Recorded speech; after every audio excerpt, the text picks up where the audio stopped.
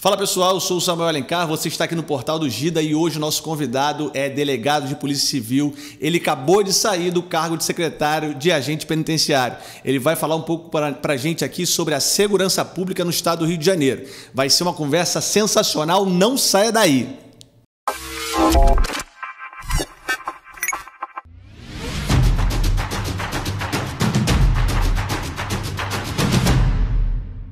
Pessoal, nós estamos então aqui com ele, o grande delegado doutor Fernando Veloso. É isso aí, Samuel. Um prazer estar aqui contigo com a tua audiência. Muito obrigado por estar aqui. É, ele vai falar para a gente um pouquinho sobre alguns vídeos que a gente vai reagir. Vamos estar reagindo juntos. E para começar, a gente vai fa fazer a pergunta que todos nós queremos saber. Doutor, o senhor é um candidato da Rede Globo? Desculpa a gargalhada, mas eu não me contigo. Desculpa, não é falta de respeito com a audiência, não. Não, Samuel, eu sou um candidato da minha história. Eu tenho 56 anos, comecei a trabalhar com 13, não dava nem para registrar carteira ainda, então tenho 43 anos de atividade. Filho de dois portugueses que vieram da lavoura de Portugal, chegaram no Brasil com uma mão na frente e outra atrás. Continuam mais ou menos assim, ninguém ficou rico, mas todo mundo vive com muita dignidade. E eu sou produto dessa história. Então eu sou candidato da minha história. Sou candidato da história de quem trabalha muito, quem tem a satisfação de hoje poder dizer que graças a Deus e graças aos valores que a minha família me deu, eu consegui chegar onde eu cheguei, vindo de onde eu vim, ter chegado onde eu cheguei. Sim. Me orgulho muito disso. E aí, em determinado momento da tua vida, você pensa assim, cara, de onde eu vim, né? consegui o que eu consegui, a vida me deu o que me deu. Eu acho que a gente tem que, de alguma maneira, devolver isso, dar isso de volta para as pessoas. Então, eu estava muito confortável, uhum. delegado de polícia. Eu gasto muito pouco, né? Então o meu salário ele satisfaz as minhas necessidades. Eu podia ficar quietinho no meu canto, no sofá lá, no pijamão, aproveitar a vida com meu filho, que eu adoro, que eu amo, amor da minha vida. Mas eu acho que a gente, né, a gente recebe tanto, a gente tem que devolver. E ao longo desses últimos anos eu percebi que as nossas vidas são decididas na política. Então por mais que a gente ah, tenha um negócio assim, e eu mesmo Uhum. já tive muitas falas no passado dizendo assim, tira esse negócio de perto de mim, Sim. que eu detesto isso, que essa gente, isso e aquilo. Só que gostando ou não, é lá que a nossa vida é decidida. Então, se a gente, né, pessoas como eu, né, e que tiveram essa oportunidade, eu acho que a gente tem que devolver isso para as pessoas. Então, o Fernando Veloso é candidato da história do Fernando Veloso. Por acaso tive uma participação na TV como comentarista, me orgulho muito disso. Foi uma oportunidade muito bacana de poder ter conhecido o outro lado do balcão. Sim. né? Eu vivo pulando de lados nesse balcão. Já fui empresário, né? 20 e poucos anos eu trabalhei na iniciativa Você foi privada. empresário? Muito tempo, 23 anos. Eu tive uma série de negócios. Eu fui dono de bar, de, Uau. de botequim, de, de casa de suco, de papelaria. Aí pulei por lá de dentro do balcão, passei no concurso, Sim. né? passei em alguns concursos, acabei assumindo de delegado. Depois pulei de novo pro balcão e fui lá pro lado da mídia. Né? Enfim, então essa experiência toda, acho que foi. é, isso foi um pouco assim. é, não foi muito planejado, isso foi acontecendo na medida que foi, né, as coisas foram, a minha história foi evoluindo.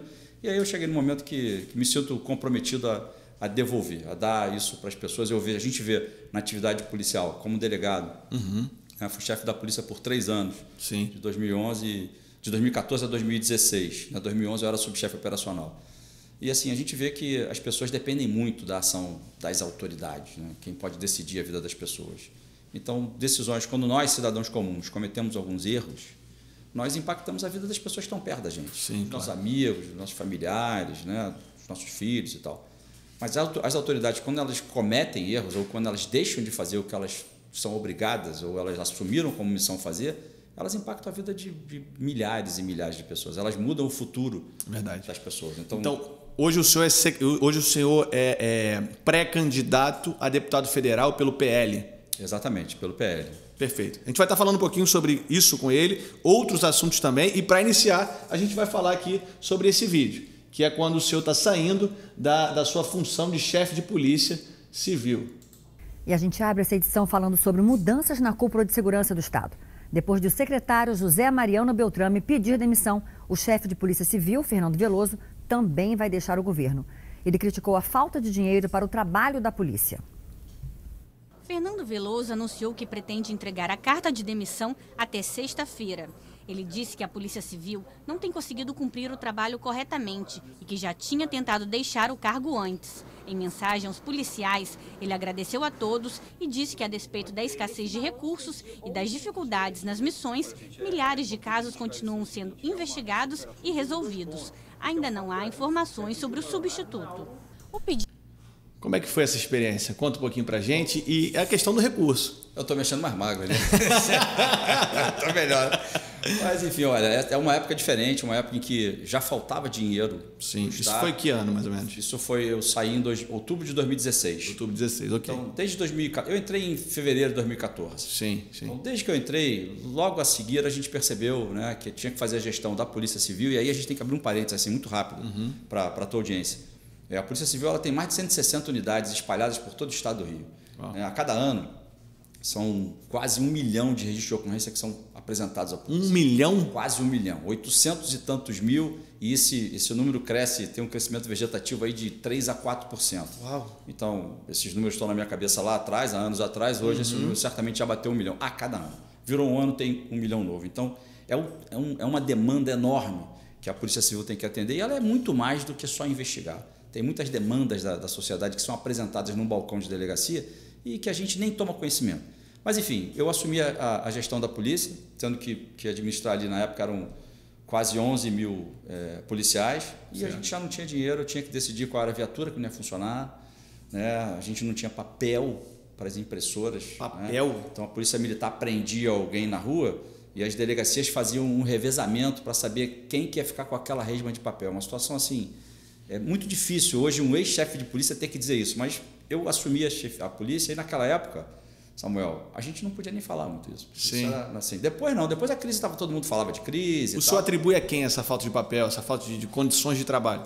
Olha, essas, essas questões são questões maiores, são questões de governo. A Sim. Polícia Civil, naquela época, vamos lembrar que naquela época a gente já tinha a Secretaria de Segurança. Certo. Então a gestão administrativa ainda passava por uma secretaria de segurança que tinha as duas polícias vinculadas ali, a Polícia Civil e a Polícia Militar. Então, assim, é, eram questões maiores. A gente ficava à mercê da gestão de outras pessoas que faziam isso. Hoje a gente não tem mais a situação. A Polícia Civil tem uma secretaria própria, a Polícia Militar também tem uma Secretaria de Estado própria dela. Isso ajuda muito, hum. né? porque os interesses institucionais, e eu estou falando aqui de interesses legítimos, né? Sim, perfeito. Eles, eles são vistos pelas pessoas que têm aquela ligação com a própria instituição e não por terceiros. Perfeito. É, a Secretaria de Segurança fazia um papel é, político, uhum. né? como é em outros estados, continua sendo assim, continua havendo Secretaria de Segurança. Agora, não vou dizer que isso era culpa só da Secretaria de Segurança. Aconteceu uma crise né, no certo. estado como um todo Agora, é, quando o Estado não tem dinheiro uhum. para botar é, combustível nas viaturas de polícia ou não tem dinheiro para comprar papel para as delegacias de polícia, aí a gente está numa situação muito ruim. Pior ainda quando o gestor não pode nem falar sobre isso. Sim. O senhor sai no mesmo momento que saiu o, o Mariano Beltrame? Foi, eu fiquei, foram quase três anos à frente uhum. da Polícia Civil, já tinha ficado três anos antes como subchefe operacional. Perfeito. E são cargos que demandam muito, Samuel. Assim, é, é, você, você se dedica 25 horas por dia.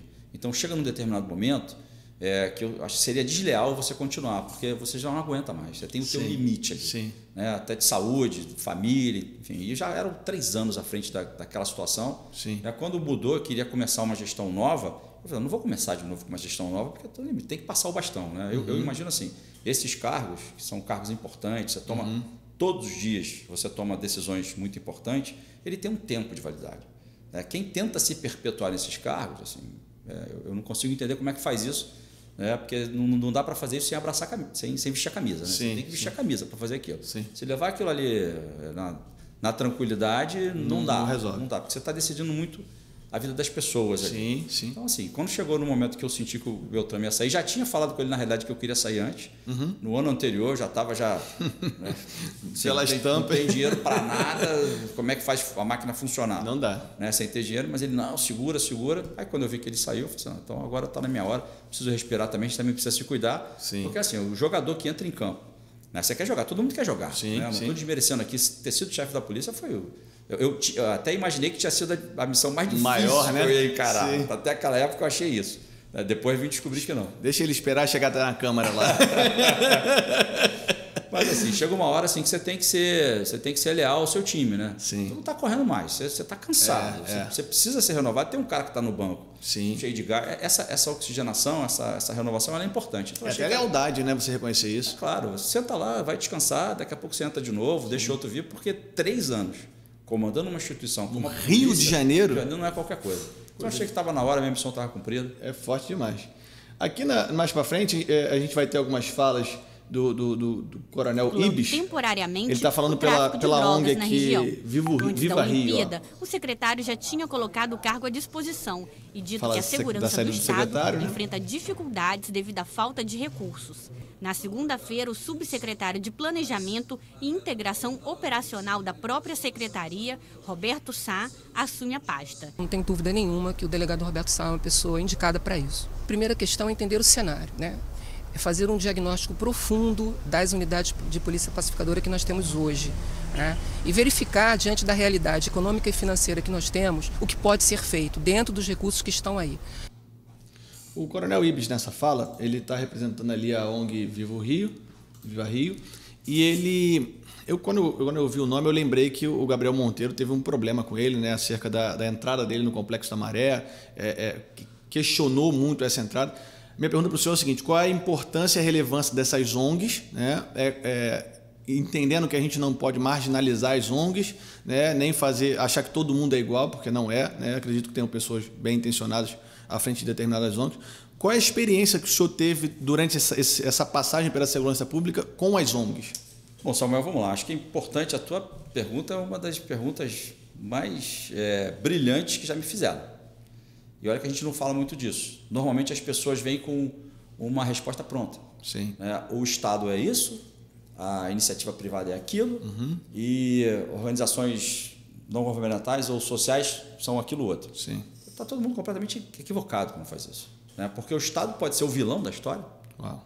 e a ONG pode ser o mocinho da história. Ou o contrário, ou o inverso. Então Sim. eu respeito muito o Coronel Ibis, né? ele um excelente profissional de polícia. É, a questão é que polícia é polícia e política é política. Né? Então a gente, o trabalho que as, que as ONGs podem desempenhar é um trabalho é, importantíssimo. A gente não pode abrir mão disso porque o Estado, é, eu vou dizer uma coisa forte aqui, o Estado ele pode ser o vilão da história. E se a gente deixar, normalmente o Estado será o vilão da história Uau. ele precisa ser controlado. A Uhum. gente precisa de controle. né? A polícia tem que ser é, reconhecida o papel que ela exerce, a gente tem que respeitar esse papel. Hoje no Brasil a gente tem uma dificuldade danada, porque um agente policial, se ele para alguém na rua, se ele dá uma ordem, um comando qualquer, todo mundo quer discutir se aquele comando é constitucional ou não. Ah, você não, me pode, não pode me parar por isso, você não sei o quê, tem uma decisão do Supremo, tem, o Supremo diz que a polícia não pode fazer operação. Enfim, né? todo mundo discute tudo e todo mundo ignora o seguinte: o problema é que a- o poder de polícia é, ele tem o seu fundamento. Né? Para viver em sociedade, a gente precisa de alguém que faça é, o meio termo aí entre Uhum. as pessoas, entre os conflitos sociais que acontecem naturalmente. Sim. Isso, é- isso é natural. Sociedade é isso. Uhum. Só que a gente fica colocando isso num patamar de constitucionalidade e tal. Mas aí a gente tem que respeitar isso. Mas, por outro lado, o Estado tem que ter os seus limites também. E a ONG faz um pouco disso, as ONGs fazem um pouco disso. Agora, é claro, que o que tem de desvio, né, o que tem. Na realidade, o conceito, o modelo que foi criado de organização social lá atrás, alguns anos atrás, ele deu margem para isso. As organizações sociais se transformaram num- numa alternativa, né, é, vamos dizer assim, é muito útil para quem queria desviar dinheiro. Hum, entendi. A verdade é essa, porque na realidade o controle, a- a- o arcabouço legislativo que controla o fluxo de, de, de recurso no Estado, ele está muito amarrado ali. Tem um monte de legislação ali Certo. Que quem quer fazer alguma coisa fica amarrado. Agora, quem quer desviar encontra um caminho. Um dos caminhos que foram encontrados foi justamente canalizar esse dinheiro através dessas zonas. Então, a gente teve recentemente no Rio o que aconteceu na saúde, né? derrubou um governador, inclusive, Verdade, né? verdade. levou ele a ser empichado. Agora, a gente não pode demonizar o Instituto da Organização Social por conta disso. O que, a meu ver, a gente pecou como sociedade, nós erramos lá atrás, quando a gente tirou todas as amarras que não deixavam as coisas funcionar no poder público, criamos a figura de um terceiro, que não é, não é Estado, que é uma organização social, né? e aí a gente deu toda a liberdade para ele. Entendi. Tipo, o dinheiro sai daqui, vem para cá e perde controle, não tem mais controle nenhum. Entendi. Aí aconteceu, tem acontecido o que está acontecendo. Então, eu não demonizo a organização social, mas eu acho que ela tem que ser controlada. A gente tem que ter formas de controlar. E quem faz esse controle? Bom, a gente tem é, instituições que, que, constitucionalmente têm esse papel. O Ministério Público, por exemplo, uhum. os tribunais de contas, uhum. de contas também fazem esse papel. O, o, problema, Samuel, é que é muita coisa e a gente precisa ter uma fala. Assim, eu, eu sou muito a favor, a gente estava conversando aqui, eu, eu não consigo desempenhar um personagem. Né? Eu me apresento como Fernando Veloso, eu, eu entro em algum lugar como Sim. Fernando Veloso e saio como Fernando Veloso. Porque eu não consigo. Eu não consigo fazer diferente. Então, assim, a gente tem que ser pragmático. Não tem como controlar. Não dá para controlar. É uhum. É muita coisa. O Estado não tem como fazer isso. Então, eu, as pessoas perguntam assim, mas aí como é que a gente faz então? Porque eu não tenho. Tribunal de Contas de Estado, eu fiquei lá nove meses. Né? É, o senhor ficou lá também? Também fui. fui quando aconteceu aquela, aquele problema lá que prenderam lá, os, os conselheiros foram afastados. Sim. A presidente que ficou lá, a doutora Mariana, ela me, me convidou para que eu instituísse lá uma diretoria de segurança institucional. Nós criamos aquilo, criamos uma área de inteligência para apoiar o, os, os, auditores, enfim. Então deu para conhecer um pouco, não tem condição de fiscalizar. E aí as pessoas perguntam, mas tá bom, e tá, e aí, como é que faz? É. Transparência é a transparência. A transparência, para mim, é, o, é, o, é a cereja do bolo nessa história. A gente tem que dar transparência. O, o agente público, o gestor público, é, é, nós, como sociedade, temos que cobrar mais transparência. Se você for num site hoje, tem várias instituições que elas têm site lá. Hoje a tecnologia está aí. Você pega o telefone aqui, a gente faz sim, tudo no sim, telefone. A gente, né? Tá, tá o nosso, nosso acesso aqui. Você vai em, em, nas instituições e não tem informação de quase nada ali. Não tem informação nenhuma. Isso a gente não cobra. Entendi. A gente não cobra isso. A gente precisaria cobrar. Isso tem que estar processado e de acesso fácil ao cidadão. Vou te dar um exemplo aqui que eu gosto sempre de usar na segurança pública. É algo que, que diz respeito a todos nós. Né? Uhum. A gente está aqui agora. Quando eu sair, se tiver mais segurança ou menos, a gente pode ser abordado é, ou não. Então, isso é alguma coisa que interessa a todos nós. Está acontecendo uma quantidade maior de roubos onde eu moro, ou onde eu trabalho, ou mais violência contra a mulher, ou, ou enfim. É, como é que a gente fica sabendo disso? A gente não precisa de um especialista dizer isso para a gente. Sim. No o Rio de Janeiro tem um diferencial, que é o Instituto de Segurança Pública. É, o ISP, né? Esses dados é. estão todos lá. Então, Fantástico. se você é morador de Campo Grande, morador da Tijuca, se você quiser saber se estão roubando mais bicicleta, por exemplo, é, na área onde você mora, você vai lá e você procura, tá lá, roubo de bicicleta. Você bota lá o, é o, o indicador lá e você vai saber se aumentou ou se não aumentou. Sim. Aí você curioso, vai lá, estão roubando mais bicicleta, o que, é que eu faço? Ah, lá também tem as datas, a agenda das reuniões de conselho comunitário. Uhum. Aí você vai lá na reunião de conselho comunitário, está o comandante do batalhão lá, estão os delegados daquela área estão lá, você fala, olha só, quero reclamar aqui. Enfim, isso é participação da sociedade. Agora, isso é muito interessante. Agora, a gente precisa, eu sou um entusiasta disso, porque eu, assim, ao, ao mesmo tempo que eu sou descrente uhum. de parte do ser humano. eu, com esses 20 anos de polícia me levaram assim, um pouco. A, Veja bem. Botou o cara ali, se a gaveta não estiver trancada, ele não tem jeito, entendeu? Sim. Mas eu, acho que por outro lado, a gente tem que ser vigiado. A gente tem que ser controlado. Todo mundo controla todo mundo, todo mundo olha todo mundo. Okay. Por isso que quando você diz assim, ah, quem é que tem a responsabilidade de fazer isso? Ah, a gente tem. Esse modelo está tá, tá elaborado. E no Brasil, por acaso, a gente, a gente tem um modelo muito bacana, é visto como, como muito bem elaborado por outros países. Mas não adianta, não tem como, não, não consegue controlar. O fato é que o cidadão tem que ser educado, tem que ser instruído e ele tem que ter esses, esses, essas ferramentas ao seu acesso. Vou te dar um outro exemplo. Assim. Vira e mexe, a gente tem é, operações aí que desvendam esquemas e promiscuidade, Sim. gestores é, descarregando milhões aí através de licitações fraudadas uhum. e tal. O cidadão comum, né, o cara que tem, tem lá o emprego dele, ele tem a família dele, ele tem uma, uma pequena empresa, como é que eu vou controlar isso? Estou é. aqui no meu trabalho, como é que eu vou saber lá que na, é, na, na é. saúde, sentimento é exatamente no transporte, ou, ou, na educação, como é que eu vou saber que de milhões? Isso não faz parte do meu dia a dia.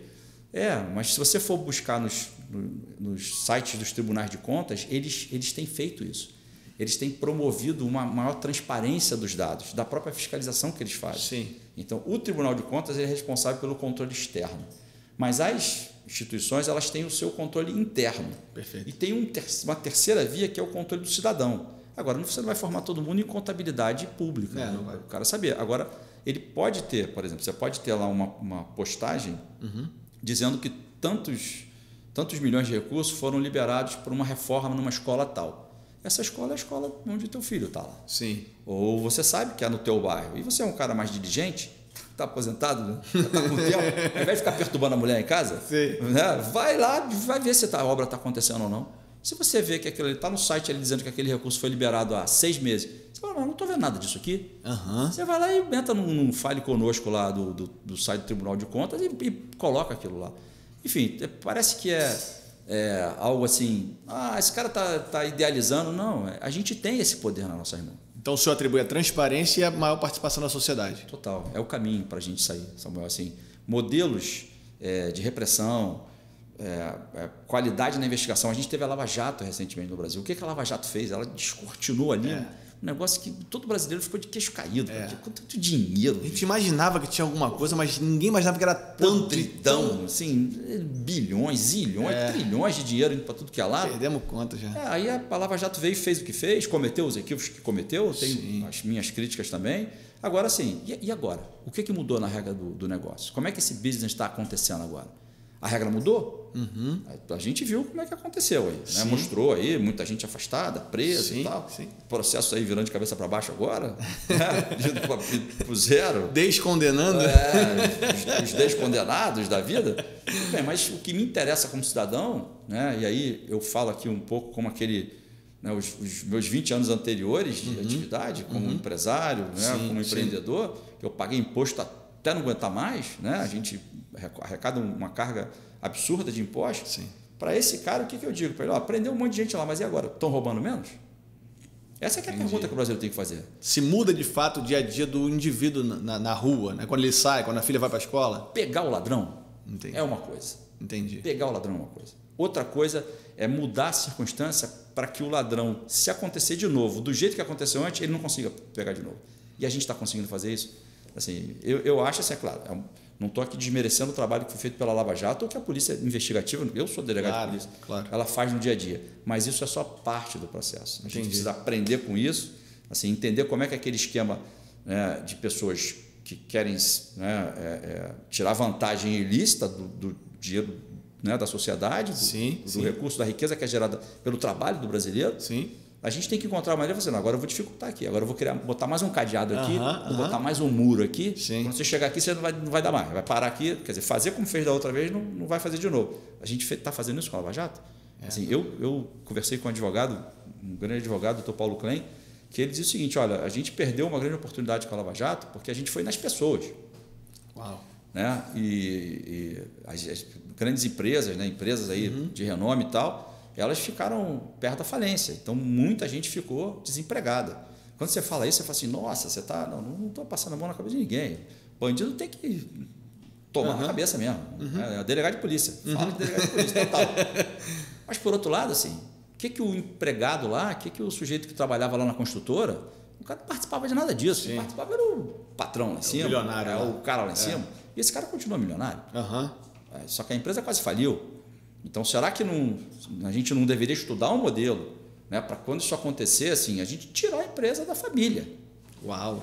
Tira a empresa da família, assim, só. Você perdeu a empresa. Uhum. A gente já teve. Aí fala assim, nossa, esse cara está inventando. Não, não estou inventando nada. Estou falando como um brasileiro que tem interesse que a gente tenha dias melhores. Assim. Sim, eu claro. quero que o meu filho tenha uma situação melhor do que, que eu encontrei. Não é tem verdade. que ficar... Né? Então, assim, se a gente amanhã, uma outra lava-jato, um outro esquema desse, descobre lá, a gente vai prender os caras, vai deixar os caras presos um ano, dois ou três, e a gente sabe aqui, né? Ser preso sem dinheiro é uma coisa, ser preso é com claro. dinheiro é outra. É claro. Não vamos ser hipócrita aqui. Falando sobre a questão da prisão, é, o senhor teve agora num carro que foi secretário de agente penitenciário. De administração, de administração penitenciária. Não acerta esse nome. Senão você vai achar que eu sou secretário só dos agentes. Ai, ai, ai. Vamos lá, secretário de administração penitenciária.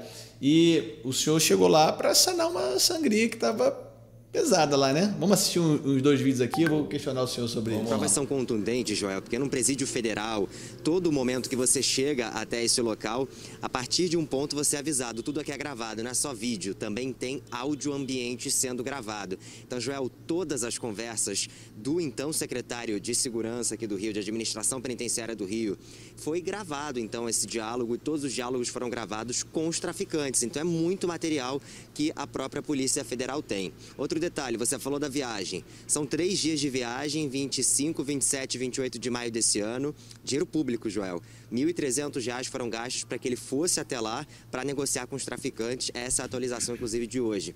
Tem uma prova muito importante também, Joel. Tem um vídeo que mostra, a gente começou ontem sobre isso, a saída do Abelha da prisão, um traficante muito perigoso do Comando Vermelho aqui do Rio de Janeiro. Ele sai pela porta da frente, ainda cumprimenta ali o secretário do carro. A gente tem essas imagens que também foram aí o ponto de partida para acelerar essas investigações, porque ele tinha mandados em aberto e mesmo assim conseguiu deixar a prisão Fato é então que a Polícia Federal, o Ministério Público Federal, não tem dúvidas de que o então secretário Rafael Montenegro estava ali negociando diretamente com o Comando Vermelho todos esses benefícios e prometendo também outros que, benefícios Sadoc, aqui no Rio aí. de Janeiro. É, é, essa imagem, meu, que a gente está vendo aí do Já. cara de camiseta branca, esse cara acabou de sair do presídio, né? Ele foi libertado. Saiu pela porta da frente do presídio porque tinha o, o mandado que permitia a libertação dele. O, o secretário para do lado dele, é isso? Tinha passado batido. Quem é que para do lado ali e conversa com o cara, ô meu? Isso, Joel. Tem um carro oficial, você ah. vê que são dois carros oficiais pretos, os carros que estão à disposição do gabinete do secretário. A gente apurou que quem estava dentro desse veículo era o secretário Rafael Montenegro. Caramba, meu! Que loucura! É. Assustador. Assustador. Vou até e, me ajeitar na cadeira aqui. É, e esse vídeo me lembrou a fala do ex-ministro Tarcísio agora semana, falando sobre a criminalidade em São Paulo e a relação do Estado de São Paulo, do governo do Estado de São Paulo com esses é, grupos de criminosos. Vou botar aqui para a gente assistir. São Paulo tem uma coisa interessante que o paulista não percebe. A associação com o crime organizado. São Paulo fez um pacto com o crime organizado de não combatê-lo. E por que, que se optou por não se combater o crime organizado? Porque combater crime organizado dá efeito colateral. E ninguém quer o efeito colateral do combate ao crime. Combater o crime organizado, você tem morte policial, você tem queima de ônibus, você tem assalto a banco, você tem um aumento da percepção de insegurança. O problema é que quando você não combate, o crime cresce e ele se infiltra no poder. E aí você, ele acaba se tornando força política. Muito complexo o assunto. E queria a opinião do senhor sobre isso. Primeiro, o ex-secretário foi preso, né? Sim. É, essa, é, é chegar nesse sistema para tentar é, é, consertar esse problema é um desafio. Vamos Aí a gente volta para falar do senhor, né? Achou que ser chefe de polícia ia ser o... É, já tinha adiantado um pouco isso. Achei que a missão mais difícil. Mas olha, é, o, o primeiro-ministro Tarcísio ele, ele é muito bom, né? Ele é muito Sim. bom, um cara que ele, ele tem ah, o destaque que tem não é à toa. É verdade. Agora, assim, Samuel, eu acho que tem, tem uma fala, assim, eu fico muito feliz de poder estar aqui no teu espaço aqui com a tua audiência, a gente poder explorar esse assunto. É, primeiro, tem, é, a gente não está refém desses acordos. Uhum. O poder público não está refém. Mas existem. Existem. Uhum. Existem. Né? E por isso que eu comecei dizendo que o ministro Tarcísio é Sim. mestre. Perfeito. É, mas a gente não está refém disso. Assim, e aí até fala de um, de um delegado de polícia que foi chefe da Polícia Civil por três anos e digo assim, e fui secretário de administração penitenciária agora nos últimos sete meses. Perfeito. Nós não estamos reféns disso. Então, a primeira coisa, quando eu fui convidado pelo governador, eu não conhecia o governador, tive com ele a primeira vez, a gente conversou um pouco, ele me pagou umas missões, eu assumi um compromisso, eu acho que eu, que eu cumpri o compromisso que eu assumi com ele. Sim. E a gente fez as entregas que disse que ia, ia fazer. Perfeito. Uma das primeiras coisas que eu disse para todos foi o seguinte: eu não vou apertar a mão de preso nenhum. Ok. Eu não fiz isso em provocação anterior secretário, isso não é problema meu. O problema é da Polícia Federal que está investigando lá, é problema da Justiça Federal. Isso eu não tenho nada a ver com isso. Não, não tô ali, eu não fui para ali com papel de investigador. Perfeito. Que eu sou. Fui no papel de gestor. Mas a primeira coisa que eu disse é o seguinte: não vou apertar a mão de ninguém. Uhum. E aí eu vou te dar uma informação aqui, para o teu privilegiada, assim, com alguns dias tendo assumido a gestão do sistema penitenciário, né, sou grato ao governador por ter me, me possibilitado essa experiência, uhum. né, apesar de eu já ter feito um monte de coisa e tal na vida, mas foi uma experiência, assim, claro. um desafio enorme.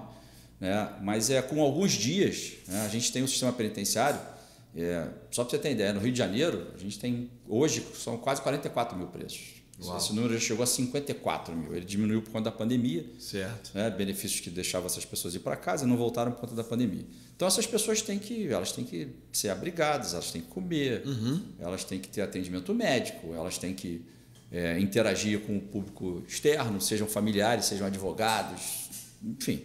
É, é, é, são várias cidades. Né? Só em Bangu a gente tem uma cidade. Complexo é, de Jericinó tem 26, 27 mil presos ali, mas os, os outros estão no resto do estado. A, a SEAP ela está presente, em, além da capital, em outros oito municípios. E quantos agentes?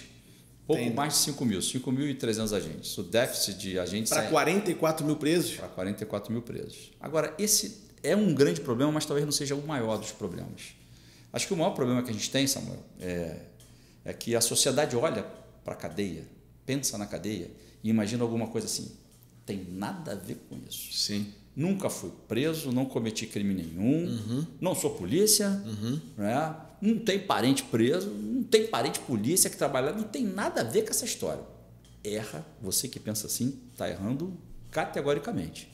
É, nos últimos 50 anos, a gente tem uma situação na segurança pública que vem, a gente vem patinando.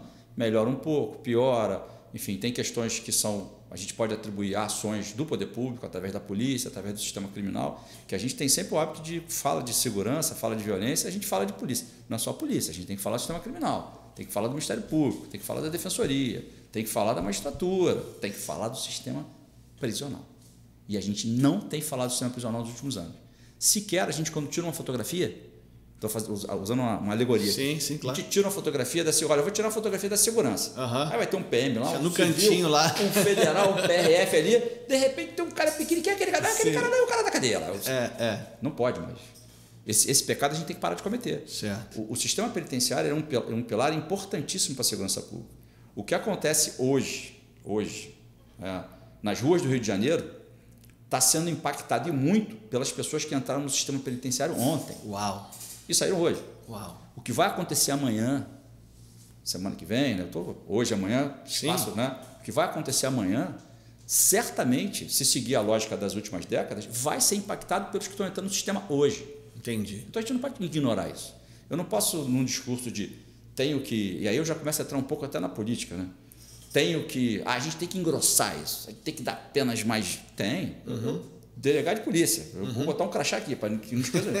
Mas a gente tem que ser consciente, tem que ser pragmático. Sim. Eu não, não é vender ilusão para as pessoas, né? Sim. Não é vender uma falsa expectativa para as pessoas. A gente melhora o que quando a gente aumenta a pena? Melhora. O cara que fez um crime mais grave, cometeu um crime contra um, um agente público, por exemplo, ele tem que ser punido de uma forma rigorosa. Mas só isso não está adiantando nada. A gente tem que lembrar que cadeia tem duas portas. Uma de entrada, mas tem outra de saída. Né? E aí, dentro desse cenário, a gente vê a fala do ministro dizendo assim: você tem uma parcela do poder público que está ali, que hoje é a Polícia Penal, e eu, por acaso, tive a grata satisfação né, de encaminhar a minuta que regulamenta a Polícia Penal do Rio de Janeiro. Né? Então, é, é, assim, Porque não era regulamentada? Não era regulamentada. Ela foi. É, tem uma emenda constitucional na, na, Constituição Federal, ela foi reproduzida na, na emenda constitucional 77, na Constituição do Estado, mas ela tinha que ser regulamentada. É como se fosse assim resumindo bastante, é como se fosse a certidão de nascimento.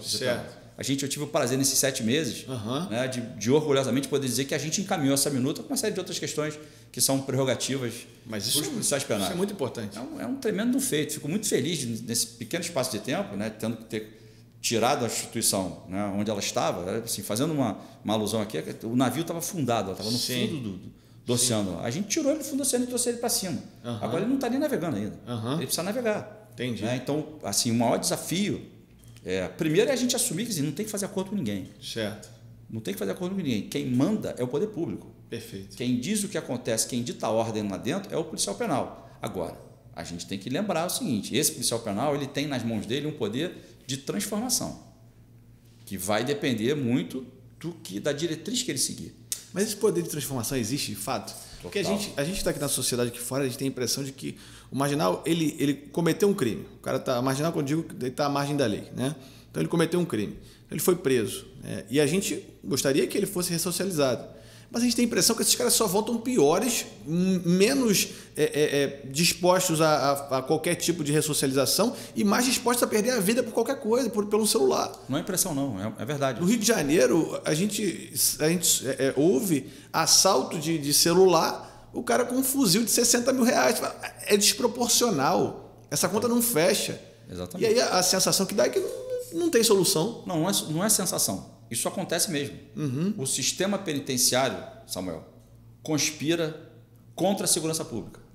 Vou repetir, para não acharem que eu falei errado, não. Para o teu telespectador. O sistema penitenciário do Brasil, ele conspira contra a segurança pública. Por quê?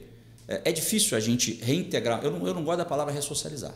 Não gosto. Não gosto. Não Tá. gosto pelo seguinte, porque como é que você vai tornar alguém sociável que nunca foi, que sempre viveu à margem? Começa por aí. Entendi. Muitos deles, você entra, eu entrei em quase todas as unidades desses sete meses que eu tive lá.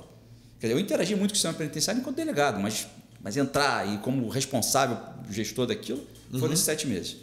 Eu entrava e assim, você olha para aquela multidão de gente ali, é, o- é, parece que é tudo fichinha, tudo sai da mesma máquina, da mesma copiadora, tudo igual ali. né? então, muitos dali, não tô, não, eu não estou minimizando o que eles fizeram, eu estou fazendo uma análise crítica de que quem vê- quer ver a segurança pública melhorar. Sim. Então, hoje o sistema conspira contra uma melhora na segurança pública. É difícil acontecer? É, mas eu vou te dar só um exemplo aqui para a gente não pensar no criminoso. Porque Tá. é mais difícil a gente, sociedade vítima do crime, pensar assim: eu tenho que pensar no criminoso, mas é isso mesmo que o Veloso está me dizendo? Ah, mas eu tenho uma resistência danada a isso. Eu, eu vi o cara ser roubado na rua. É. O cara deu um tiro no outro, ele entregou tudo, ele deu um tiro a si mesmo. Sim. Sabe? Tudo bem. É, O nosso sentimento é de. É, é difícil, eu sei que é difícil. Imagina para mim, que eu sou delegado. Eu botei centenas deles lá dentro. É. Sim. Com a minha equipe, com os trabalhos que eu fiz durante anos, com as investigações que a gente fez durante anos. É difícil a gente conseguir. Agora, é difícil, mas olha só, enquanto você não fizer, vai continuar do jeito que está. Porque lembra que eu disse: tem duas portas, de entrada e Uhum. saída. Queira ou não, goste ou não, ele vai sair. Entendi. Ele vai sair, ele vai voltar. E ele vai voltar para a rua. Mas eu vou te dar um exemplo para ficar é, um, um- um- estágio aí menos doloroso para você tentar me acompanhar no raciocínio. É assim, esse cara que está preso lá, ele desconectou. Ok. Ele desconectou de família, ele desco- desconectou da vida de sociedade. E aí, quando ele vai para lá, ele conecta com o quê? Assim, dependendo do, do nível dele, desse, desse sujeito que a gente está imaginando aqui como preso, é, ele pode ser um cara de um nível mais elevado aqui, tá ligado a uma organização criminosa e tal. Você vai ter um, um contingente de pessoas assim. Agora, a massa, a massa, massa de manobra da organização criminosa. Entendi. É massa de manobra. A, a Grécia ali, assim, é, é operário. É operário do dono da fábrica. Entendi. Entendeu? Esse cara entra, quando ele entra no sistema, ele entra, assim, integridade física dele está tá em risco, a Aham. vida dele está em risco. Comprometido, claro. Está tudo comprometido. Ele tem que se agarrar a algum poder, Samuel. Que poder que ele agarra? O poder público não dá, esse, não dá essa segurança para ele. Entendi. Aí quando ele entra no sistema, aquele que a gente diz que tem que ter mais gente lá, que tem ele se agarra onde? Alguém chega para ele e diz assim, vem cá, meu filho. Ele vai para uma facção. Vem cá, meu filho. Eu vou te abraçar aqui, você vai. Entendi. Nada vai acontecer contigo, você vai se manter íntegro Mas. íntegro e tal, mas assim, a tua família está lá fora, você não, você não vai ter visita não. Você vai botar como visita um pessoa tal, fulana de tal que vai vir visitar. Ah, quem, é? quem entrar vai trazer eh, um presentinho para mim aqui, ali e tal, mas você aqui vai ficar tranquilo. Olha, vai ter uma cesta básica para tua família lá. Teu filho que está com problema lá, É assim que funciona? olha só, quem manda na cadeia? É o poder público ou é o preso? Quem, quem que sabe? Quem vai dizer diferente disso? É. Então, assim, a gente tem que ser, a gente tem que ser Realista. realista. Não adianta ser mentiroso, não adianta ser é, é, hipócrita. Então, quando a gente tem essa realidade, vamos lá, tem um sujeito lá, não estou dizendo que a gente tem que ser bonzinho com ele, nada disso. Perfeito. Mas o sujeito desconectou, desconectou da família, desconectou de tudo. Aí ele conecta na organização criminosa. Ok. E a organização criminosa começa a usar ele. Começa a usar, ele é massa de manobra, ele vai ser, ele vai ser utilizado. O que, que pode reconectar esse cara? Então a gente, a gente fracassa, num, a gente como poder público, como sociedade, fracassa num monte de coisa. Mas parte dessas pessoas, desses criminosos que já erraram, eles têm ligações aqui fora ainda. Ligação deles é a família deles. Perfeito. Então o cara é um monstro, ele, ele roubou, ele. Enfim. Mas ele tem a, a mãe, Certo. ele tem mãe, todo criminoso tem mãe, cara. É difícil um que não tenha. Ele tem, pode ter mulher, pode ter filhos, muitos têm filhos. Né? E a gente, como é que o sistema trata essas pessoas? Mal. Muito mal, porque pega aquela É, o condenação. familiar do criminoso não é criminoso, né? É, mas o sistema trata mal. Entendi. Trata mal. Então, É, isso o, de fato. entendeu? Aquela, a, a condenação que foi imposta àquele sujeito, merecidamente. É para ele, não é para a família. aqueles anos ali, tinha que tomar o dobro, mas vai merecer. Aham. A gente amplia essa condenação para a família. Uau. Então, a dificuldade para tirar uma carteirinha, a dificuldade para isso, a dificuldade para. Assim, Tem uma carteirinha para acessar o presídio? tem, tem um processo, tem um, tem um, tem um, tem um protocolo, e isso é E visita íntima? Existe visita íntima? Visita íntima é um direito do preso, gostemos nós ou não. Todos os presos têm direito a visita íntima. Visita íntima é um direito do preso. Ele perde o direito à visita íntima se ele cometeu uma falta lá Como é qualquer. que isso funciona? Onde é feito isso? Existe um, um quarto para isso? Existe, isso é lei, está na lei. A gente não, adianta a gente brigar com isso. Já houve uma discussão se o preso provisório, ou seja, aquele que não foi condenado, se ele tinha direito ou não, mas essa discussão está superada. né? Não há dúvida nenhuma. Se a gente fosse pautar pelo direito, o que, que a regra diz? A regra diz que tem direito. Acabou a discussão. Agora, o, o, o que, que representa a visita íntima para nós cidadãos? Aí vou, vou provocar de novo a tua audiência. Assim, Sim. Né? Aqui tá bom que não dá para a gente apanhar aqui. Mas assim, o que, que representa para a gente, para o cidadão? Eu, empresário lá, o cara que é empresário, que paga seus impostos e tal, que foi roubado, que um golpista deu um, um, um golpe nele lá pela internet, Sim. enfim, para a dona de casa lá, enfim. O que, que representa a vida da pessoa? Só uma operação. Tá é, louco. É, é. Tá louco. Esse jeito do robô eu ainda vou ficar pagando para ele ter. É a impressão que eu tenho. Todos nós temos essa impressão. Só que a gente tem que xingar, espernear, bater o pé e depois a gente começar a raciocinar de forma pragmática. Certo. Nos, nós, para nós cidadãos, nos interessa muito essa pessoa. E aí, O familiar? que- não, o preso. O preso, tá. né? Eu estou falando de conectar esse preso com alguma outra coisa. A visita íntima faz parte disso. Se Entendi, for com a tá. família, se não for aquela visita íntima que é a, a bagunça que acontece por conta da promiscuidade né, de parte Que é o que acontece na maioria dos casos. que é o que acontece por quê? Porque como é que o sistema trata isso? Trata isso com desdém. E aí faz coro com quem ignora a importância disso para conectar esse cara de volta com a família. Não é com a farra. Então é se, é, então, se é uma mulher que às vezes nem sabia que o cara tinha esse envolvimento e é uma mulher correta, mulher da igreja, uma mãe, a mulher não vai querer voltar ali. Olha só. Aí ele vai e A prostituta, abandona. então? A mulher não abandona o preso. O, o- o homem abandona a mulher quando ela é presa. Isso é uma outra questão. Ah, é? É, o homem abandona, a mulher presa. Você tem unidade prisional feminina, é, sete, às vezes oito em cada dez, são literalmente abandonadas, não recebem visita, não tem nem visita cadastrada. A mulher presa é abandonada no sistema. O homem preso não. Aí dois, três em cada dez, via de regra, recebem visita. Tem, tem pessoas que vão lá. Por que, que a visita é importante? E aí eu aqui falo, Samuel, como gestor. Ficou à frente Certo. do sistema durante sete meses e com a experiência que eu tive em segurança pública. Perfeito. Assim, que diferença faz isso para mim? Eu preciso é, é, respirar fundo, espraguejar, xingar o dinheiro que gasta com isso e tal, mas assim, irmão, aceita. Tem duas portas, de entrada e saída. Se tem duas portas, então aceita o seguinte: esse cara vai voltar. Esse cara vai voltar. Ele tem voltado pior.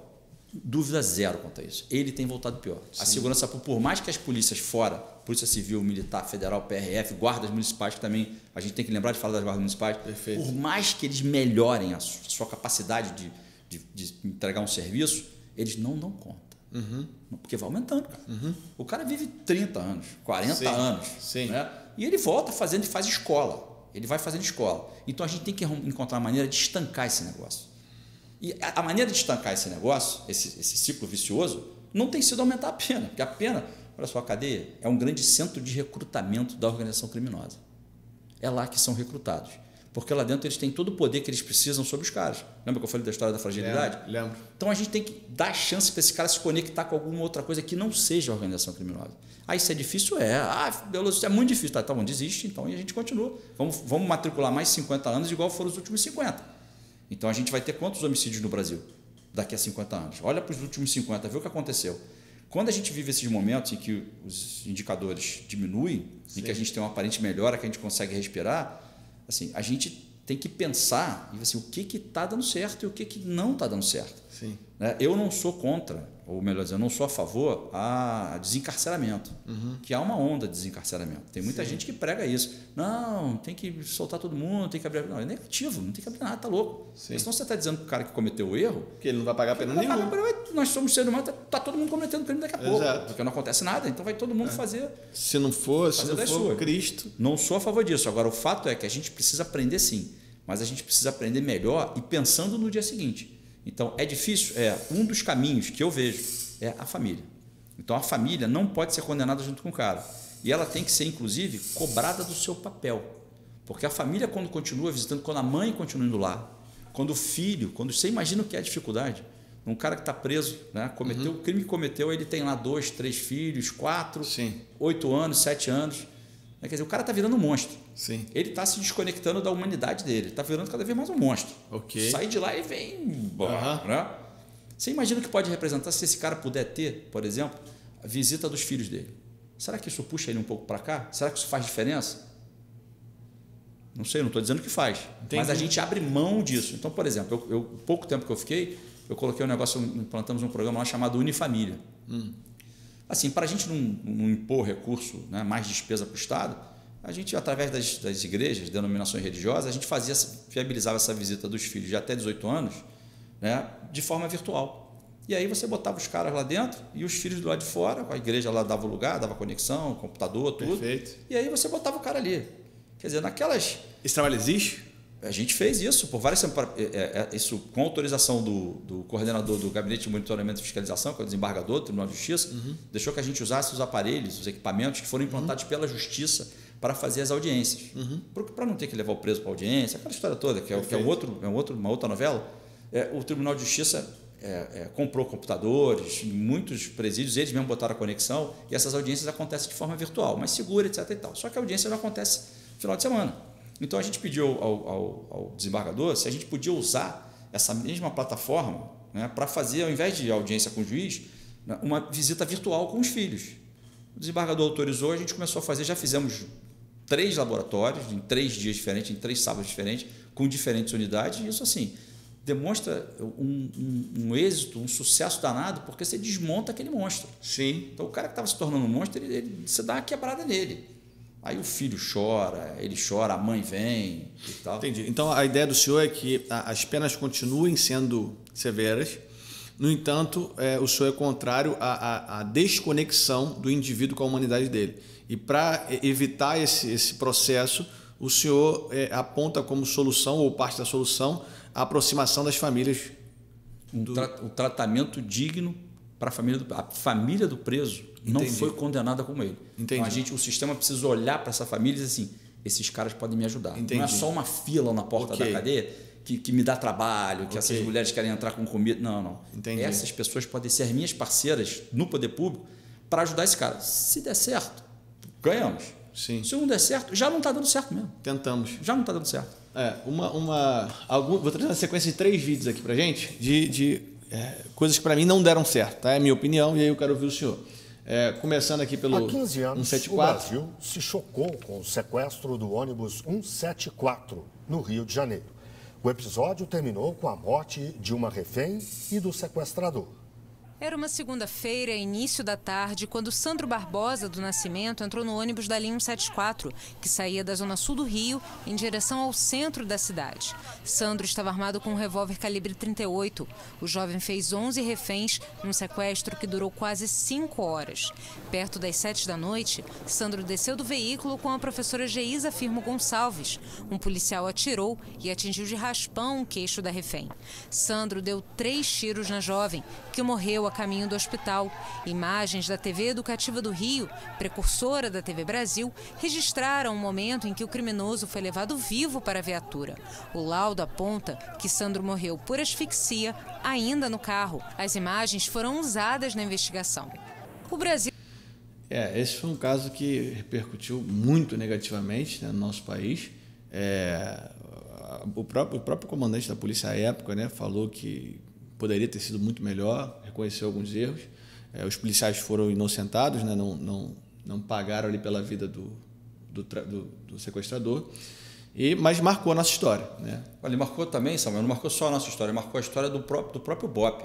Uhum. Esse caso é um caso é, que ele marca um momento diferente na história do BOP. A partir dali, o BOP se profissionalizou. Ah, é? é e, exatamente. Sim, sim, a gente, hoje você tem unidades é, especiais dentro, né, com, com negociadores, uhum, enfim, uhum. situações para tomada de refém. É o, é o, unidade de intervenção tática, se não me engano. Várias. Então uhum. você tem isso na Polícia Civil, você tem Sim. isso na Polícia Militar, lá no BOP. Sim. Até, até as guardas municipais, seguindo um pouco, espelhando um pouco esse modelo, se profissionalizaram para situações extremas como essa. O senhor é a favor do armamento da guarda?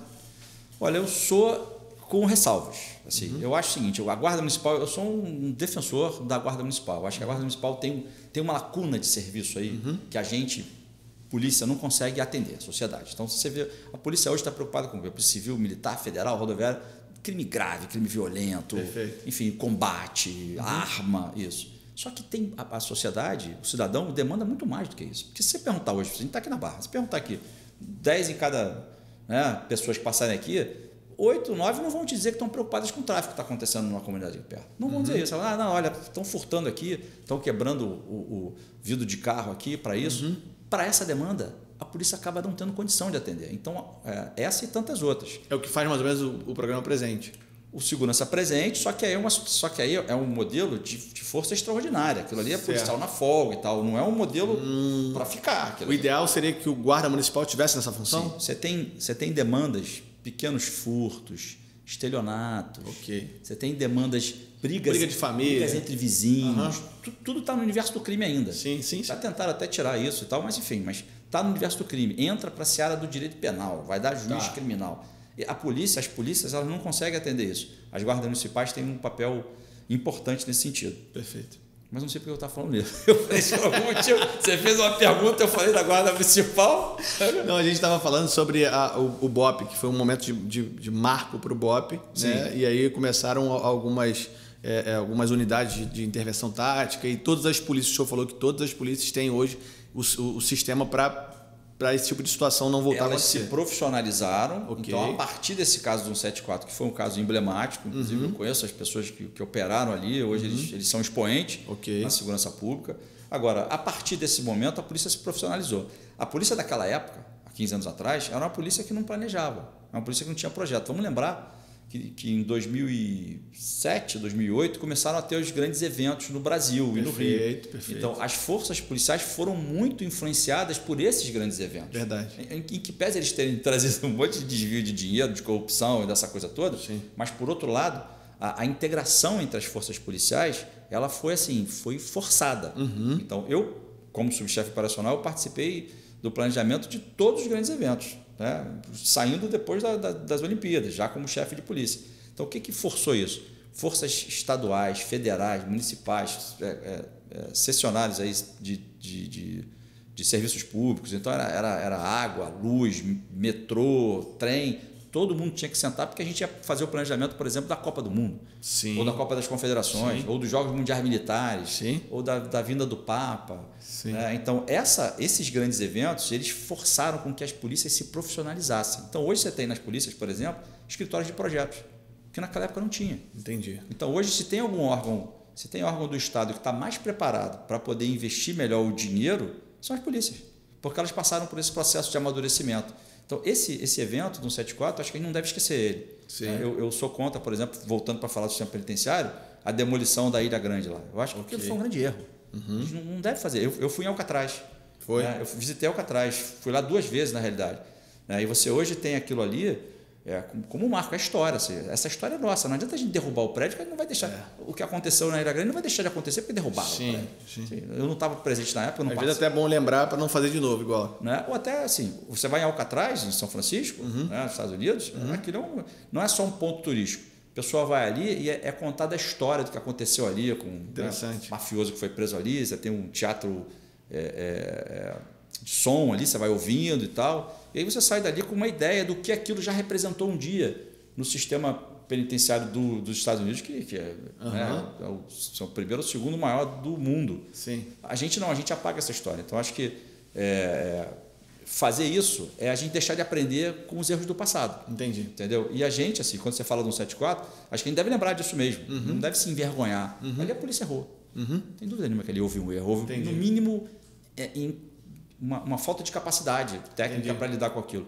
A polícia não é mais assim hoje. Você já teve eventos diferentes que foram marcados, por exemplo, aquele evento lá da Ponte Rio-Niterói, né? Sim. Assim, foram marcados por um outro momento. Porque aí a política veio, caiu de paraquedas para fazer. Vai tirar a fotinho dele, fazer, bonitão. fazer firula em cima de um trabalho técnico. Um trabalho excep- excepcional, inclusive, da polícia naquele momento. Exatamente. A, a- a população aplaudiu na ponte, foi uma coisa linda demais. É, esse, esse é um outro momento que a gente tem aqui, né, que é o momento da, da Pés da Igrejinha da que chamou Penha, de no coração do pacificação. bairro, a Avenida Brás de né? se transformou na base recuada das forças policiais. Era aqui que as tropas do Batalhão de Operações Especiais, o BOP, recebiam Aí, como as últimas falou, né, orientações mais antes de técnica, começarem capacitada. a ação na Vila Cruzeiro. Já é outro momento Eram mais de Outro momento. O 170 envolvimento com as homens do BOP, armadas. Batalhão de Operações Especiais. Eles usavam sete veículos blindados e ainda carros de assalto da Marinha. Essas são as carretas de onde eles embarcaram os carros especiais dos fuzileiros navais. todo esse momento Quando aqui. os blindados entraram na favela, levando as equipes Brasil do parou BOP, aqui. bandidos tentaram impedir, É. com carros pegando fogo, Parou. barricadas com Olha, pneus Samuel, eu queimados. participei disso aí. Eu era subchefe operacional. É? É, eu era subchefe operacional, é um outro momento da polícia. Sim. É, essa, Essa cena que nós alemão, É. uma quantidade impressionante de Essa era a homens. cena que eu queria mostrar aqui. Moradores ficaram acuados dentro de casa e começaram a acenar com panos brancos pedindo paz na comunidade. Essa ação É. foi bem sucedida? Vamos lá. Eu acho que por um, por- por um lado é, foi porque a gente não podia mais continuar do jeito que estava. Ok. Então, territórios dominados, né? vamos lembrar um pouco. A gente teve governos anteriores aí, nos anos. O policial não podia nem entrar na favela. Não podia entrar, Aham. enfim. Então a gente mudou. A, a história ela não dá saltos. Perfeito. A gente não evolui aos saltos. Ok. é, é passo a passo. Não dá um pulo e, e cai lá na frente. Não é assim que acontece. Sim. Então, assim, eu acho que a gente evoluiu porque trouxe luz para isso. Mostrou, inclusive, para muita gente, que hoje não é mais novidade dizer isso, mas mostrou para muita gente que lá, naquela comunidade, tinha muita gente com, com, com Pano branco. pano branco. É. Então não tem só vagabundo lá. Não, Não tem a só maioria bandido. de gente boa. Hoje a gente fala isso, todo mundo fala, tá bom, mas já sei. Mas naquela época não. Entendi. Era uma assim, tem que matar todo mundo. É, e assim, Explodir a favela. explodir a favela, né, usar um míssil. Tinha gente ia, por isso tinha que comprar aqueles mísseis. Entendi. Então, assim, eu acho que adiantou, adiantou. Agora, Entendi. Boa é, percepção. Agora, assim, trouxe luz para essa discussão. Agora, a gente não pode falar, deixar de ver essas imagens e falar do, do processo de pacificação. Uhum. Não foi processo de pacificação. Sim. Foi um processo de politização da polícia. É. Então, assim, eu participei disso desde o início. A UPP, então, na visão do senhor, não deu certo. Ela não deu certo porque ela foi politizada. Ela, ela foi sequestrada pela conveniência política. Entendi. Então, primeiro que, assim, a gente vai discutir termos, ah, não era pacificação e tal, é, mas, mas enfim, a questão era o seguinte: A ideia, né? A gente estava levando, tava levando o Estado para dentro de uma área que era Exato, dominada. assim. exato. E, como eu disse, o, o- o avanço da, da, da- da- da sociedade não se dá em saltos, então já, já é um avanço, você está indo para lá. Perfeito. Então, assim, houve erros? Houve. Agora, com quem participou desse processo, policiais que, que trabalharam, que estavam na época à frente disso, e eu fui um defensor da UPP, não porque eu, eu, eu avalizasse tudo que estava sendo feito, mas era alguma coisa que tinha que ser Perfeito. feita por aquelas pessoas. Sim. Então, a gente entrar lá, como né, eu como subchefe operacional, fazer um planejamento de uma operação com 150 homens, botar ali, entendeu? 90 fuzis ali dentro e tal, a gente é responsável por isso. E saber que aquilo ali vai ter um resultado pontual e depois a gente sai de novo para daqui a uma semana a gente voltar outra vez, assim, você pô, tem que fazer alguma coisa melhor do que isso. É. Então, quando vem um, um- um projeto desse que conseguiu ser um programa de governo e não uma coisa de uma pessoa, é um avanço. Agora, ele infelizmente ele foi sequestrado pela conveniência política. Então, jamais a gente poderia ter ouvido falar em 40 UPPs, 41 UPPs, ou, ou, ou aquilo ser igual uma fábrica, né? Vai fabricando, cada semana que passa tem mais. Não é o que acontece hoje com o programa presente?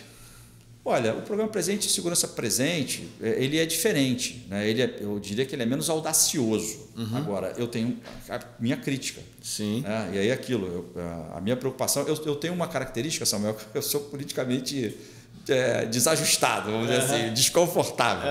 Porque eu acho que assim, a minha grande, o meu grande patrimônio é a minha imparcialidade. Sim. É a minha transparência, é a minha lealdade. Assim, eu, eu- se eu errar, eu vou Suas errar convicções, convicto. com a, com a minha convicção. Ok, perfeito. Então, assim, eu acho assim, é um programa importante? É. Ele leva a segurança onde não tem? Leva. Uhum. Ele muda a, a situação no dia seguinte? Muda. Quem disser diferente disso é, é- é inimigo Ok. político. Mas ele é sustentável? Aí é uma outra questão. Entendi. Então, assim, isso é um, é um esforço extraordinário. É um, é um reforço extra, é um modelo diferente que você emprega, desconsiderando a estrutura, a capacidade operacional das polícias. Não pode ignorar isso. O que o senhor falou mesmo da, da Guarda Municipal fazer essa função me parece muito mais é, coerente dentro do, do sistema público. Assim, segurança pública, a gente está fazendo a segurança pública para hoje, para daqui a um mês, para daqui a um ano. Aham. Os passos, os avanços na segurança pública, quando a gente estuda segurança, eu fiz um bocado isso nesses últimos Sim. 20 anos. Você vê que os países que evoluíram, eles, eles, eles consolidaram essas bases. Sim. Então, programas como Segurança Presente, eles são bons, desculpa, porque a polícia tem um tempo para se reorganizar. Ok. Agora, eles não são estruturais. Entendi. Você precisa estruturar a base da polícia para ela ter condição de assumir isso. Porque o dia que você não tiver o recurso para pagar a hora extra do policial que está fazendo isso, acabou. o serviço para. O que, que aconteceu com a UPP? A UPP, por exemplo, um dos erros capitais, ela, ela pegou uma polícia, que foi a polícia militar, e eu tenho grandes amigos, e eles mesmo sabem disso, e, e, e- e colocou dentro desse, desse, dessa salada, colocou uma disputa corporativista entre as instituições. botou uma instituição contra outra e afastou a Polícia Civil da investigação, Ah, é? não tinha investigação. Quer dizer, todo mundo que era do meio sabia disso. E depois a gente está vendo isso de uma forma mais clara ainda.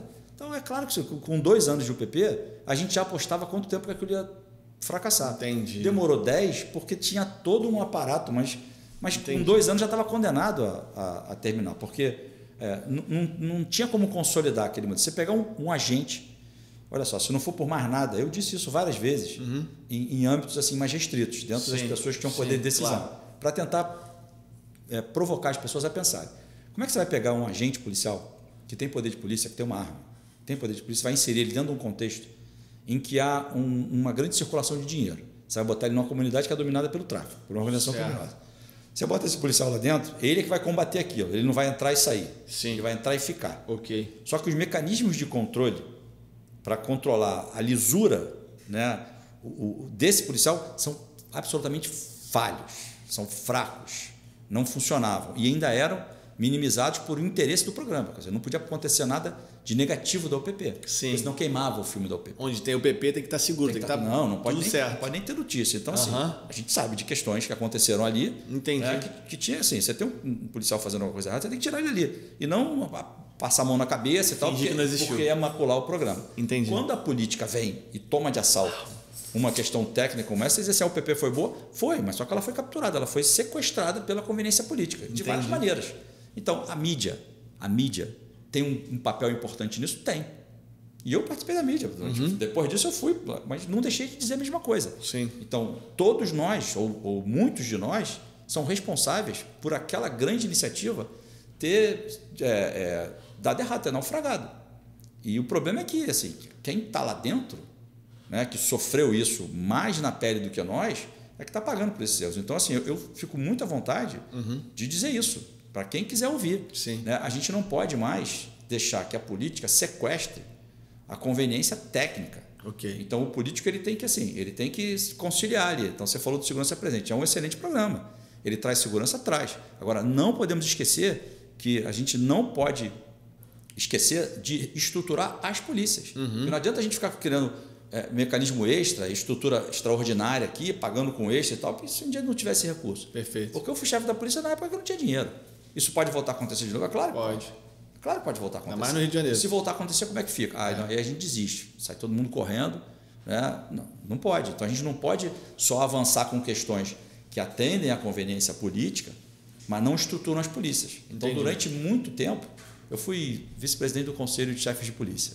Durante muito tempo. Então, pude conhecer muitos estados. e tal. Aham. Havia uma fala, né, que no início eu discordei dela, mas depois eu acabei é, concordando. Assim, no Brasil, pegar as polícias judiciárias, as polícias civis, que são aquelas responsáveis pela investigação Ok. e tal. Hoje no Rio a gente não vê muito isso, porque está diferente hoje, está Uhum. completamente diferente. Mas durante muitos anos, pegaram as polícias civis, que tem que investigar, botaram todas elas dentro de um galpão, fecharam e estão esperando o oxigênio acabar. Então, durante muitos anos, durante mais de 10 anos, isso aconteceu de forma sistemática. Ninguém falava em fazer concurso para a Polícia Civil. Propaganda, fala de governante, era só no sentido: vou botar viatura na rua. Não vou investir em investigação, não vou investir em lavar dinheiro, não vou investir em programas para o sistema penitenciário, nada disso. Vou botar a polícia na rua. E todo cidadão fazer o quê? Porque, é claro, todo mundo quer ver viatura na rua. Eu Sim, saio, sim. eu saio de casa. Se eu ver uma viatura na esquina da minha rua, eu vou ficar, claro, vou ficar muito claro. mais feliz que se eu não tivesse. É claro. O problema é que eu passo por várias esquinas até eu chegar onde eu vou. Não dá É. para ter uma viatura em toda esquina. É. Né? E, assim, a gente tem sido refém disso ao longo dos últimos anos. Hoje o Rio mudou. E eu espero que continue assim. A gente já teve um olhar voltado para um dos pilares importantes, que é a polícia investigativa. Porque a PM sozinha, isso era até, eu dizia isso várias vezes, era uma covardia fazer isso com a polícia militar, porque você jogava na costa do, do- nas costas do PM toda a responsabilidade. Entendi. E ele não tem condição de fazer isso. Mas o senhor, o senhor ainda tem é, em mente que a solução para as favelas no Rio de Janeiro é a inserção do Estado, o Estado entrando enquanto ente público, fazendo o papel que lhe é devido, né, é, é, esgoto, saneamento básico, enfim, todos aqueles que a gente conhece, recolhimento de lixo, é, em uma mão e na outra mão o reforço do aparato estatal enquanto é, é, força policial. Samuel, tem crime na favela? Tem. Tem. Só tem criminoso na favela? Não. Tem que ter força lá? Tem. Tem que ter fuzil? Tem. Ninguém vai, ninguém vai confrontar um criminoso com fuzil com flores. Ok. Tem que ter força. O problema é que essa discussão ela vem sendo confundida com ideologias.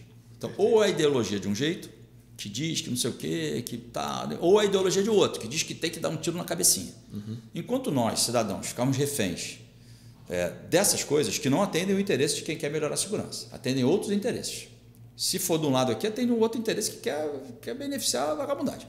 Né? Vamos dizer, Aham, português sim, claro. sim. E o outro interesse aqui que é, que é voto, e- entendeu? Sim. O fato é, a gente tem que tentar afastar isso e assim, não, me explica direito como é que esse negócio pode funcionar. Tem crime lá dentro, aquele território é dominado por criminosos. Interessa a eles a dominação do território. Se você tirar a dominação do território do traficante ou do miliciano, você quebrou o negócio dele pela metade.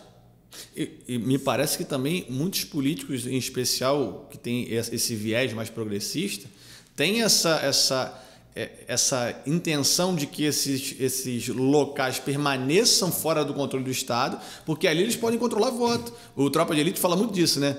A favela ela virou um, um- a quantidade de votos que tem ali é absurdo. Então é, eu quero que a polícia entre ali nada, meu irmão, deixa do jeito que tá. Eu, eu acerto com, com um dono lá, o traficante, dou um dinheiro para ele, ele ganha aqueles, aquela, aqueles votos para mim e tá tudo certo. O território é dominado por um criminoso Uhum.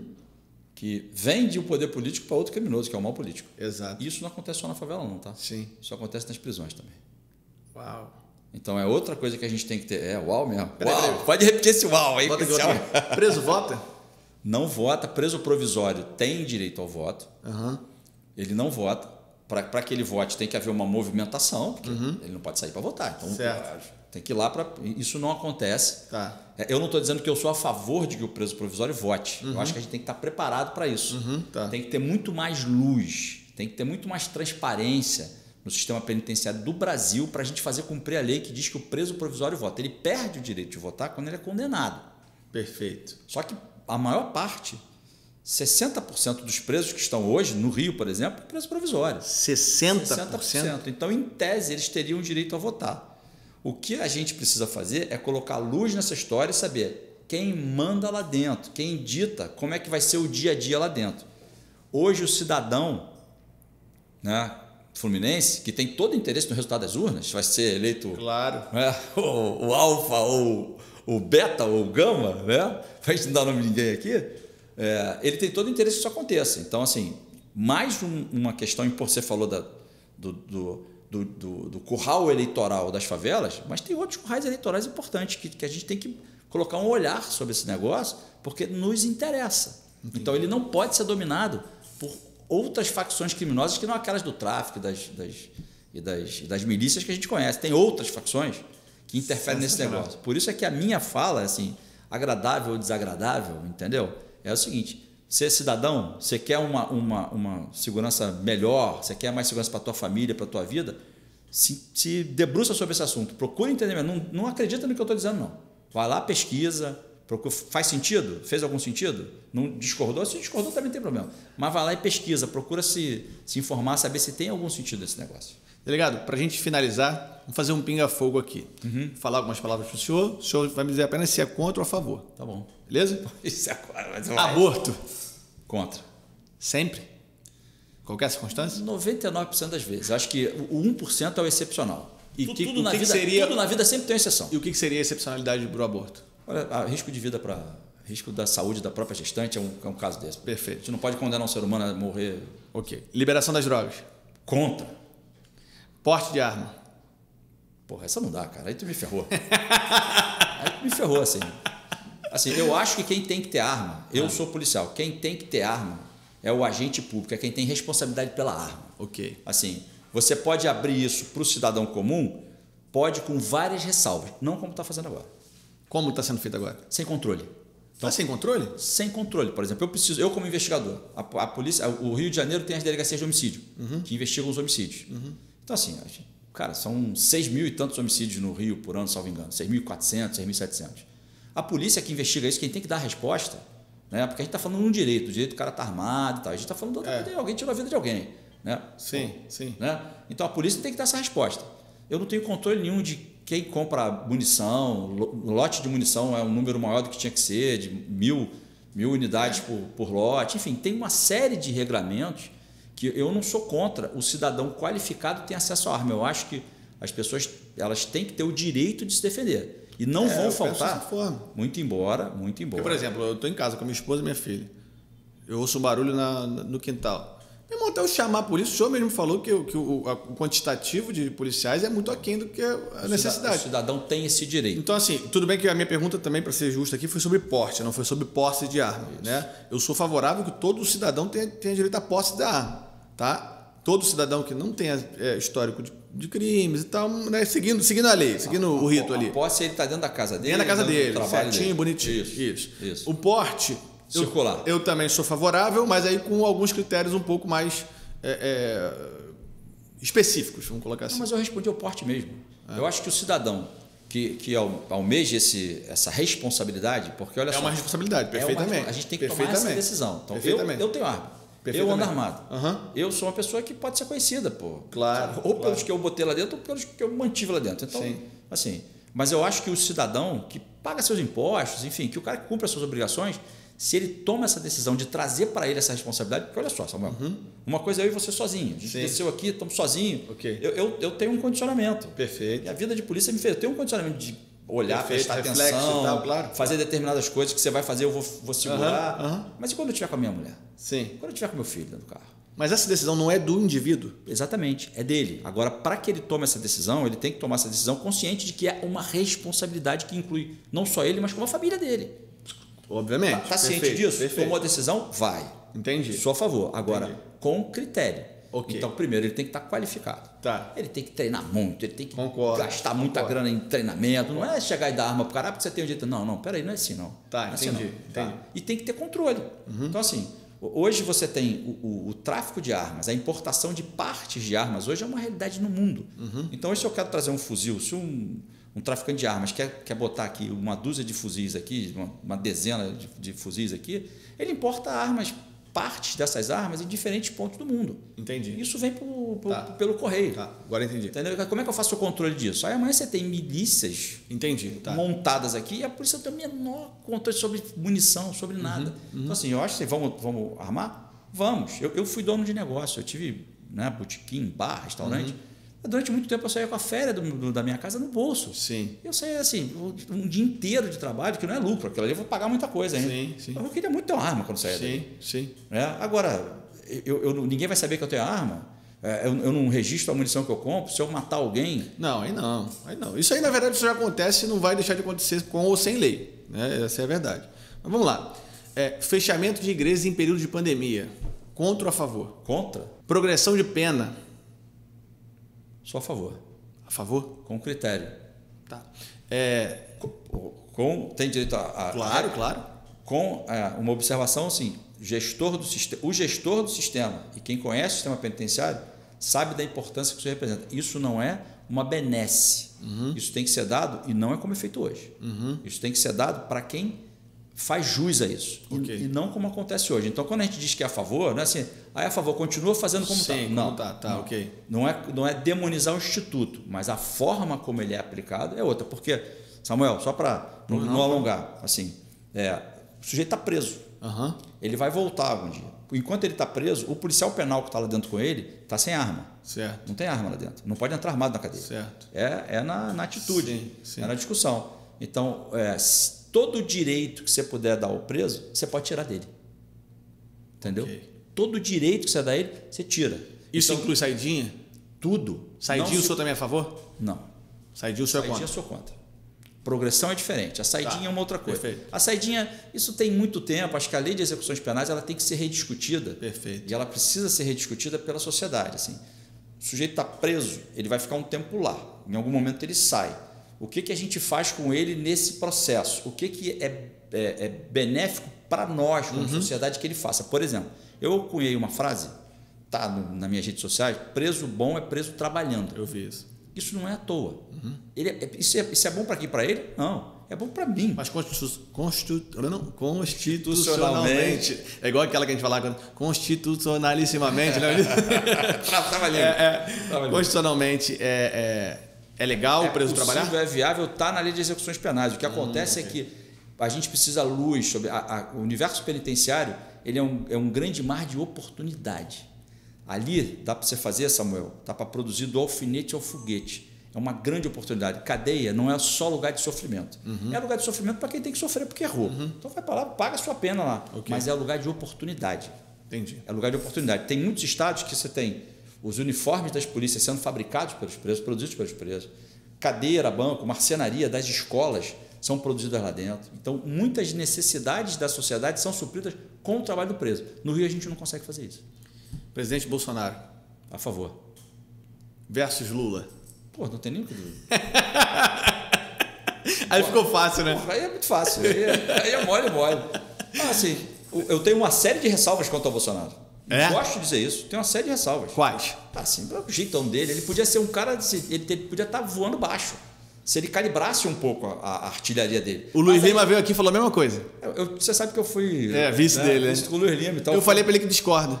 Eu acho que o Bolsonaro só chegou onde chegou por causa do jeitão. Eu assisti, eu ouvi. Assim, só por causa do jeitão. É o que eu ia dizer. Ele deixa de ser. Se ele calibrar, ele deixa, ele de, deixa ser de Bolsonaro. Ele. Mas olha só, um cara que teve a coragem de fazer o que ele fez. Sim. Um cara que teve a sagacidade Sim. que ele teve. E, e a palavra sagacidade não é muito comum no, no, no, no das pessoas comuns, mas no universo policial, você diz assim, sagacidade, cara. É o sagaz. Pô, sim, sou sim. apaixonado por esse cara. Sim. E o cara teve sagacidade para fazer. Agora, era para ele estar tá, assim, levando o Brasil para outro lugar. Não está correndo o risco que está correndo. Eu sou, eu apoio, porque ele, ele tudo que ele fez, tudo uhum. que ele proporcionou, a guinada que ele deu.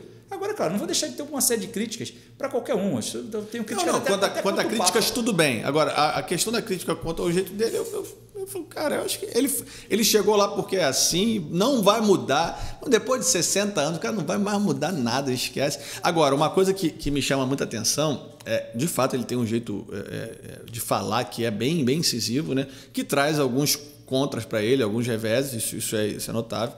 Mas assim, é, uma coisa que me chama a atenção é o seguinte: ele conseguiu, eu não sei se foi consciente ou inconscientemente, ele conseguiu blindar os ministros dele de maneira que ninguém fala dos ministros do cara. Todo mundo bate nele, fala que ele é ou, que ele é ignorante, que ele é idiota, que ele anda sem capacete, lá, lá. Mas os ministros estão trabalhando, trabalhando, o Brasil está avançando. Eu falei, cara, esse cara. Eu, eu, não sei não, ele é muito iluminado por Deus, ou ele é muito, muito inteligente, ou é, ou é tudo junto. Ele é sagaz. Ele é sagaz. Ele é sagaz. O ministro Tarcísio conta um episódio de uma ponte que a gente foi inaugurar. Eu vi ele isso. Ele falou, vai ser o capacete. Aí é. ele falou assim, pô, você o capacete, bater na gente, vai apanhar até morrer aqui. É assim, tá vendo? Agora eles vão falar. É isso. Cara, isso é uma mente brilhante. Mente assim. brilhante. Mente brilhante. Assim, mente brilhante. O cara sabe contra o que ele está brigando. É, ele pauta a mídia. Ele sabe contra o que ele está brigando. Assim, e apanha. É, um, é uma. Né, batem de forma covarde e tal. Sim. Eu acho assim, eu não, eu não, eu não defendo pessoas. Sim. Eu defendo ideias. Okay. Eu defendo projetos. Okay. Assim, tudo que. Se vier alguma coisa do lado de lá, uhum. que seja que a gente tenha que defender, que seja bom para a gente como sociedade, eu não vou ter pudor nenhum em defender. Eu acho que é, a esquerda, ela, ela para a gente finalizar, eu acho que a esquerda ela, ela sequestrou a pauta da justiça social que em última análise é um, é um mandamento, aí eu já trago para a igreja, né? O mandamento de Deus está na Bíblia e, e, os cristãos devem fazer isso. É claro que a gente tem que discutir o papel da, do Estado também nisso, mas é, quando a gente falou no começo da conversa sobre as ONGs, eu vejo muitas pessoas de direito falando, ah, não, ONG não, ONG não presta. Eu falei, cara, calma, cara, entende primeiro, ouve, né? Vamos, vamos tentar achar uma solução para isso aqui. Mas olha, ela não sequestrou. Ela combinou com a direita, porque a direita deixou ela fazer isso. Mas, porque lá atrás a direita disse assim, ó, você fica aí. Mas que direita lá atrás? Bom, olha só. Não, brigou. não, não brigou. Não brigou, não bateu o pé. A gente não, a gente não vê, os, não, não, ninguém minha, espernear. Não, é que a minha pergunta foi assim, seguinte. você fica à esquerda, você fica aí com a defesa, né, você fica com, com, uma fala humanista, que eu fico com a fala de ordem. É, é. E sim. aí você fica com essa, eu fico com essa aqui. Foi um combinado que, a meu ver, se foi implícito ou foi é, é, subjetivo ou o que foi, de fato aconteceu isso. Aí a, a direita nunca brigou por esses direitos. Aí quando você, por essa defesa. Aí você fala para alguém assim, ah, você é de direita ou de esquerda? Os caras perguntam, você é de direita ou de esquerda? Eu falo, depende. Uhum. Eu, eu, naturalmente, eu sou, eu sou de direita. Sim. Sou conservador. E aí a gente tem que entender, sugiro até as pessoas pesquisarem o que é conservador. Tem gente que acha que conservador é retrógrado. É retrógrado, é contra a novidade, é contra progresso. Esquece, nada disso.